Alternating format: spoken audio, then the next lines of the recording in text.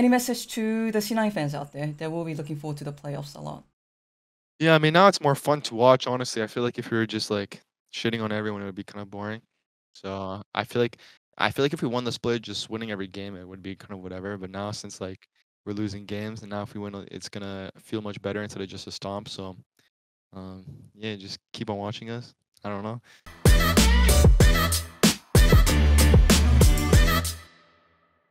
Hey guys, this is Ashley Kang of Korizon Esports and I'm joined by Jojopyun, the mid laner of C9 after C9 does complete its final game here at the 2024 LCS Spring Season regular uh, regular round robin. Hey Jojo, um, yeah, it's been a bit of a tough super week for you guys. How are you? Yeah, I mean obviously it sucks. I'm sorry. I think yeah, I think all our losses we just made really dumb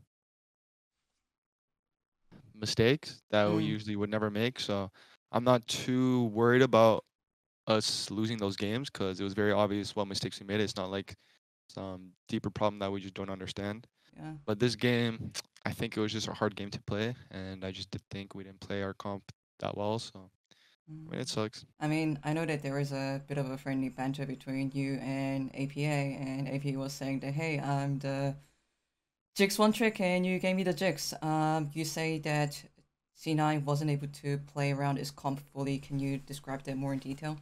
Well, I think it's more like we just didn't play well. Honestly, Okay. it's not really a draft thing. I think we just didn't play well as a team this game. Um, I mean, I can go into the specifics, but I- it just I I played bad myself too. I definitely could have carried a team fight. Um, and I think they played macro really really well, especially just swapping early game and just keeping tempo and just Udyr just proxies and keep swapping. Um, after Udyr's supposed to lose lane after Nor gets his item, but I think they played pretty well too. Yeah, that Baron Shockwave was slightly feels bad, man. Yeah, unlucky. I think could have carried.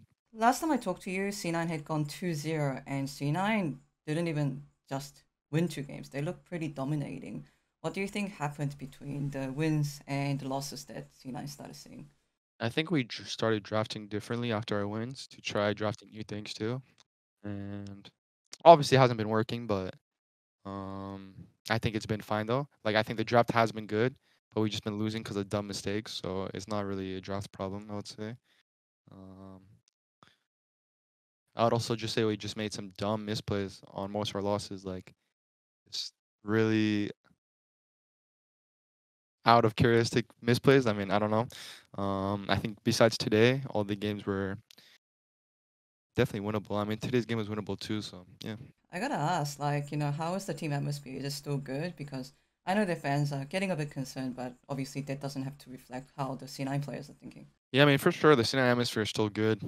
I'm honestly happy. Like I, um, of how we've been taking these losses and really trying to learn from these losses and just take and just really wanting to win. The drive is still there, so I don't think the losses are like affecting us emotionally. So yeah. Is there almost like that confidence that, hey, like in a regular season, it's just regular season, the playoffs come, we're gonna, you know, step up once again? Can you tell me about more about that confidence if it is there? I mean, definitely playoffs is the thing that's important, right? But at the same time, it's not like, oh, we're just gonna just chill into playoffs. Obviously, we're still trying to improve as much as possible in the regular season, and then really trying to reach our peak in the playoffs.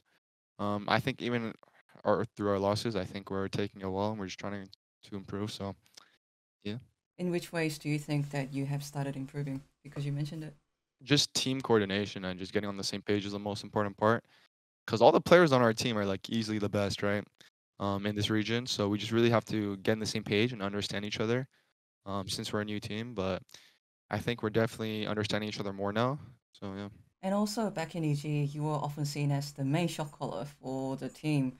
Uh, how has been the shot calling hierarchy? Who's the most vocal person within the team, and how has that situation progressed? Just out of curiosity. I think everyone is talking when I don't think there's like a main shot caller. I think if someone has something important to say, they'll just say it. So I really can't say there's a main shot caller. Everyone's calling things that they want or they need or what they want to do in the game. Um, yeah, so I can't really say one person. Okay, so here we go, heading into the playoffs. Of course, there's gonna be a reset in patch, and I guess we also almost like starting from scratch. Um, is there any particular team that you think that you should be wary of? Because C9 would obviously still be um, aiming to make it all the way to the finals. Not really. I mean, I think FlyQuest is first right now, but I don't think they're too good. I mean, it's kind of funny saying that since we're three and four, but if I'm being realistic, I, think we're losing to ourselves. I don't think we're losing because of other players are just playing so well. Maybe besides today, because I think TL played their map really well.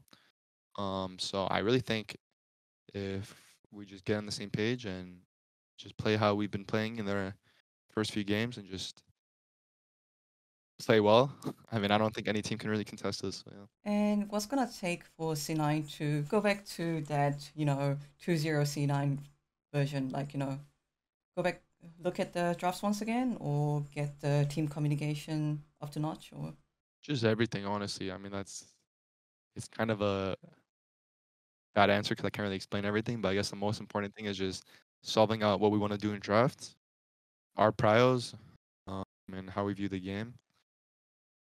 Yeah, I think that's the most important for us right now. What's your goal okay. for 2024? I mean, maybe when we were 3 0, I'd say winning worlds. Um, now it's still winning worlds, but yeah, just doing well internationally, of course, but we have to focus on um, LCS first. So just winning LCS first and then doing well internationally. Yeah. There is that announcement that the LCS finals is going to be held in the LA studio rather than going to another city and doing the whole roadshow. And I know the fans aren't completely happy, but I just wanted to get a player perspective on it, especially that playing on the big stage gives you a lot of experience. But if it's too of a sensitive subject, I'll skip it. I'm not sure if it's oversensitive, but I just think, in my opinion, that I mean I don't like it. I mean I understand like it's really expensive and stuff, so I mean, but obviously I would love to play in a big arena because it just feels so much more important and just the energy you can't really match if you're playing in a small studio, right? So, um, yeah, it sucks, but what can I do? You know. I think like it adds an extra stake for players playing. Not that nobody's not trying hard, in my opinion. Yeah, for sure. Yeah, yeah. I agree.